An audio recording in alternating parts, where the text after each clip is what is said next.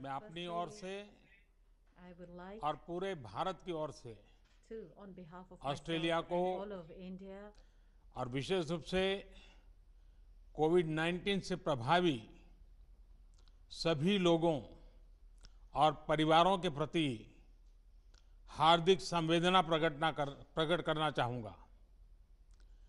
इस वैश्विक महामारी ने विश्व में हर प्रकार की व्यवस्था को प्रभावित किया है। और हमारे समिट का यह डिजिटल स्वरूप इसी प्रकार के प्रभावों का एक उदाहरण है। एक्सलेंसी आपसे इस डिजिटल माध्यम से मिलकर मुझे बहुत खुशी तो है ही है, लेकिन थोड़ी निराशा भी है, क्योंकि हमें भारत में आपका गर्मजोशी से स्वागत करने का अवसर नहीं मिल पाया। पहले जनवरी में और फिर पिछले महीने हम आपकी भारत यात्रा की प्रतीक्षा कर रहे थे, लेकिन दुर्भाग्यवश दोनों ही बार यात्रा स्थगित करनी पड़ी। हमारी आज की मुलाकात आपकी भारत यात्रा का स्थान नहीं ले सकती है। एक मित्र के नाते मेरा आपसे आग्रह है कि स्थिति सुधरने के बाद आप शीघ्र सपरिवार भारत यात्रा का प्लान करें और हमारा आतिथ्य स्वीकार करें। एक्सलेंसी भारत ऑस्ट्रेलिया संबंध विस्तृत होने के साथ साथ गहरे भी हैं और यह गहराई आती है हमारे shared values shared interest shared geography और शेयर्ड ऑब्जेक्टिव से। पिछले कुछ वर्षों में हमारे सहयोग और तालमेल में अच्छी गति आई है। ये सौभाग्य की बात है कि हमारे संबंधों की बागडोर का एक छोर आप जैसे सशक्त और विजनरी लीडर के हाथ में है। मेरा मानना है कि भारत और ऑस्ट्रेलिया के संबंधों को और सशक्त करने के लिए ये परफेक्ट समय है, परफेक्ट मौका है अपनी दोस्ती को और मज़बूत बनाने के लिए हमारे पास असीम संभावनाएँ हैं। ये संभावनाएँ अपने साथ चैलेंजेस भी लाती हैं।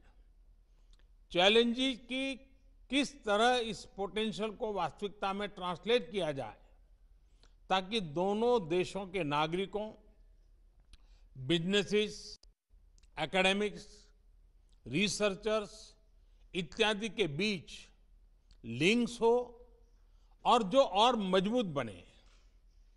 कैसे हमारे संबंध अपने क्षेत्र के लिए और विश्व के लिए एक फैक्टर ऑफ़ स्टेबिलिटी बने, कैसे हम मिलकर ग्लोबल गुड के लिए कार्य करें, इन सभी पहलुओं पर विचार की आवश्यकता है।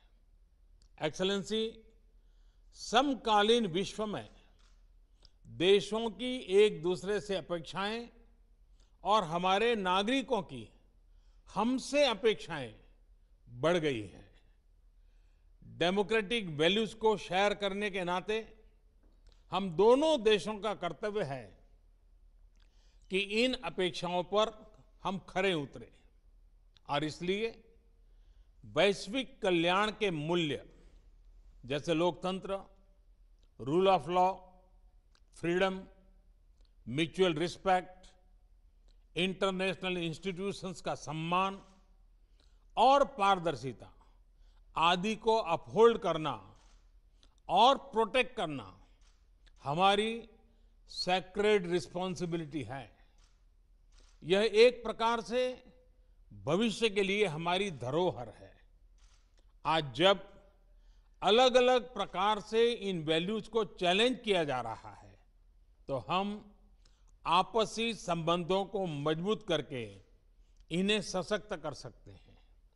एक्सलेंसी भारत ऑस्ट्रेलिया के साथ अपने संबंधों को व्यापक तौर पर और तेज गति से बढ़ाने के लिए प्रतिबद्ध है।